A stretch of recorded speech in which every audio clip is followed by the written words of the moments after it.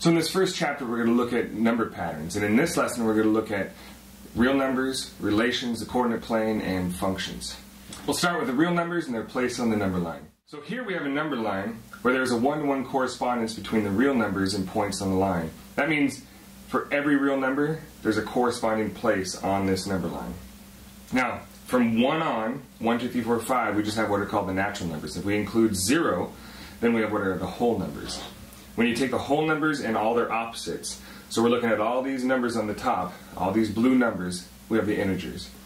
Now take any two integers and write them as a fraction, and you've got rational numbers. Okay, so this includes 0.345 repeating, or numbers like negative 3.5. Okay, so all these numbers that can be written as fractions are rational. Finally, all the numbers that cannot be expressed as a fraction are called irrational. Okay, this is numbers like pi and square root of 3. Okay, these are numbers that continue on forever and they never repeat. So check out pi. Pi is not 3.14, it is 3.14159226 and so on. Okay, so right here we have a Venn diagram that illustrates how the different subsets of real numbers are related to each other. So you can see real numbers consist of everything, and then there's just smaller subsets within the real numbers. Uh, one thing to note is that there are actually more irrational numbers than rationals. So the irrational area really should be the biggest area.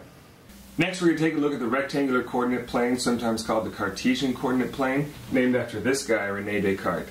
He's one of these old French mathematicians uh, that you get to know pretty well because he's one of the guys that invented calculus. The rectangular coordinate plane is simply a grid made up of a horizontal x-axis and a vertical y-axis. Any point on that grid is called an ordered pair, and that ordered pair is made up of an x-coordinate that identifies where the point is horizontally, and a y-coordinate that identifies where the point is vertically. And this plane is sectioned off into four quadrants. So we have 1, which is the top right, so it goes one, two, three, four. So here's a set of ordered pairs called a relation. Anytime we have just a set of points, that's called a relation. Now notice this is just five points set up on a rectangular coordinate plane.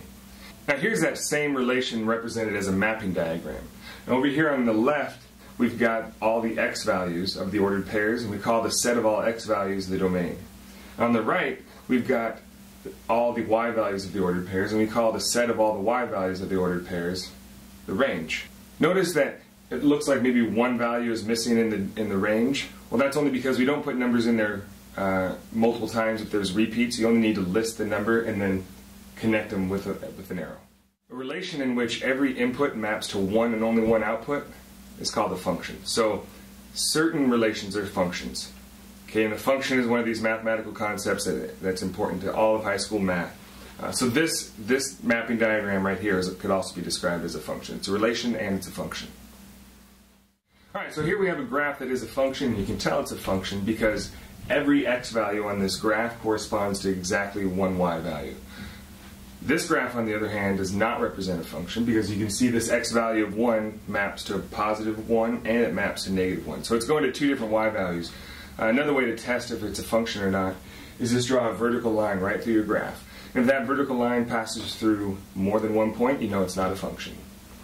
Another easy way to determine if you have a function or not is simply look at all the x values. So if you have a table or a set of ordered pairs, just look at all the x values and see if you have any repeats. For example, pause the video and see if you can see which relation below is not a function.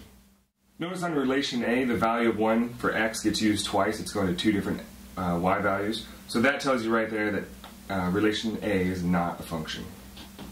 Okay, now use this graph for an example. Find the output for the input 4, Find the inputs whose output is 0. Find the y value that corresponds to x equals negative 2. And state the domain and range of the function. All you really need to know for this is that input is referring to the x value and the output is referring to the y value. So looking at the graph, you can see that when x is 4, that the y value is 3. Now the y value is 0 in three different places. When x is negative 3, when x is 0, and when x is 2. Okay, on C, find the y value that corresponds to when x equals negative 2. So just go over to x equals negative 2 and you can see that the y value, uh, you look up and there's actually a, a hole in the graph. So and above it you see a solid dot. So that's just telling you that when x is negative 2, the y value is actually 3. And then the domain and the range. Well, the domain is simply all the real numbers between negative 4 and 5 inclusive. That means we're including negative 4 and 5 at the end. And the range is all real numbers between negative 2 and 3, inclusive. So everything from negative 2 up to 3. Okay, so when we're dealing with functions where the y value is a function of x, uh, it's a lot easier to use function notation. So instead of saying find the value of y when x is a number, uh, we just say find f of x.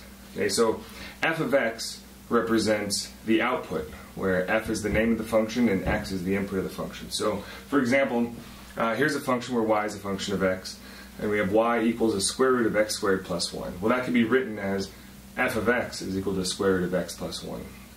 So uh, the name of the function is f. x represents the input value. f of x represents output or the y value. And the square root of x squared plus 1, that just tells you what to do. It says uh, take the input value, square it, and then add 1. So in this example, instead of saying find the y value when x is 3, it's just easier to use function notation say find f of 3. So in this case, f of x is equal to x squared, or the square root of x squared plus 1. f of 3 just means you input 3 for the x. So we have the square root of 3 squared plus 1, or the square root of 9 plus 1, which gives you that the f of 3 is 10. In other words, y is 10 when x is 3. So for this last example, we're going to pay special attention to the use of parentheses when we input into functions.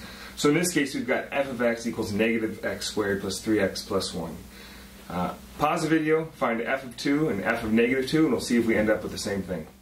Okay, so notice the first term.